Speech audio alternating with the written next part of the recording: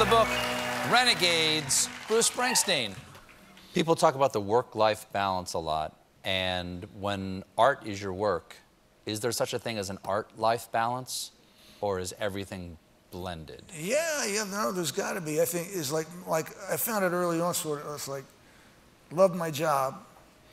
Uh, great way to make a living.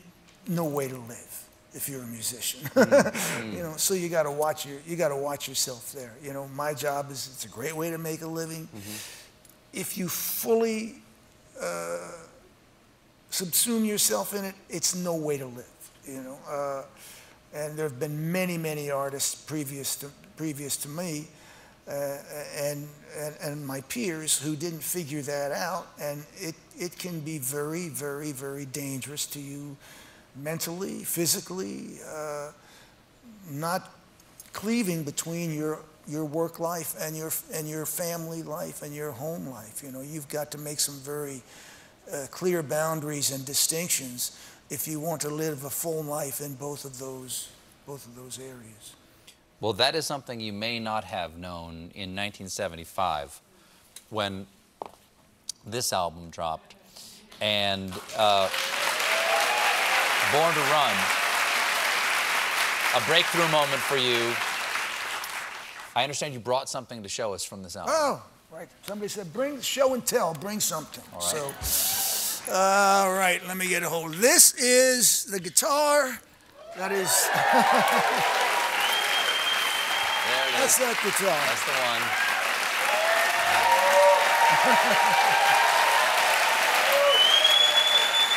um, I've, uh, I've played this guitar for 50 years. I bought, I bought it when I was 22. 22 years old for $185 on Highway 34, I think, in Belmar, New Jersey, from a man. uh,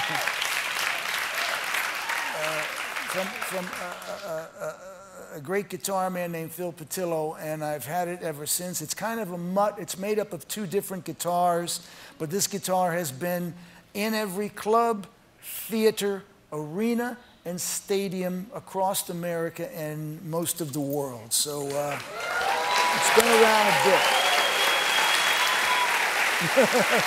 Are you, um, it's not the only guitar you play in concert, though, right?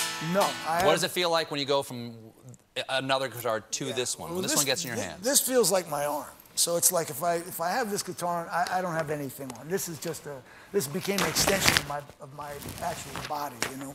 Anything else I pick up, it's a guitar, you know. And, uh, and uh, for some reason, I've played this for so long that it, that it, it just became a part of your, of your, your natural sort of physique. And, and, uh, but I don't, I don't play it much on stage these days because it's gotten, it's, I sort of put it a little bit out to pasture. It's done so much good work for me Have you thought that, of putting uh, it out to stud? Yeah, yeah. I should, you know. But uh, here, I'll take that for you. I'll, I'll, just, I'll, put, I'll put it back. Yeah. Okay.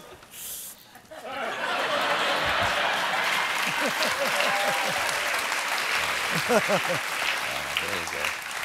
Have you ever let Jon Stewart touch this? Uh, I don't believe Jon Stewart has touched that guitar.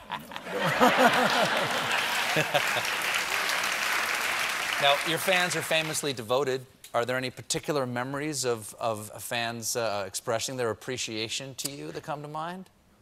Yeah, there's been a few. Uh, the worst was after I jumped over the wall at Elvis's house, and I, which, long story short, I jumped over the wall at Elvis's house to see if Elvis was home.